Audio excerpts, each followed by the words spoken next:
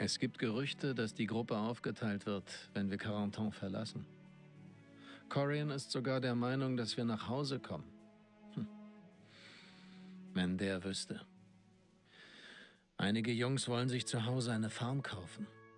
Sie wollen nur noch ihre Ruhe und ihren Frieden. Ich nicht. Nicht nach allem, was ich gesehen habe. Ich will meine Tage nicht mehr allein verbringen. Ah, es ist noch nicht vorbei.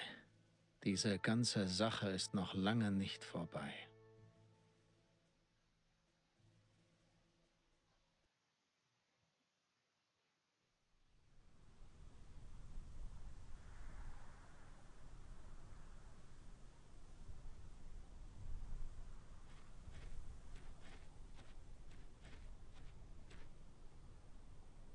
Warum schleppst du denn dieses Stück Schrott mit dir rum? Keine Ahnung. Ich habe das Gefühl, dass es meine Pflicht ist. Was hast du vor? Willst du es beerdigen? Möglich. Haltet die Klappe und stellt euch auf! Ich bin kein Freund langer Ansprachen. Ich fasse mich kurz. Erstens, hier ist ein Colonel Marshall, der ein paar von euch für General Eisenhower interviewen will. Versaut das nicht! Zweitens, ich bin jetzt schon lange Zeit in der Army und war in einigen guten Einheiten. Aber in all der Zeit... Also, ihr habt das wirklich gut gemacht. Wir haben Kameraden verloren. Aber wir haben auch ein Zeichen für Hitler und seine Handlanger gesetzt.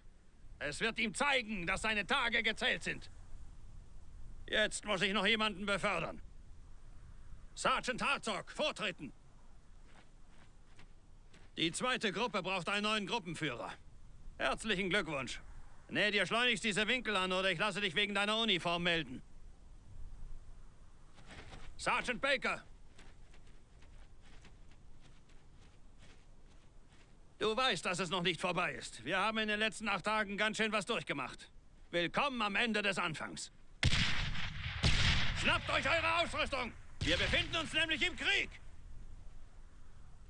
Dritte Gruppe, ihr habt's gehört. Vorwärts!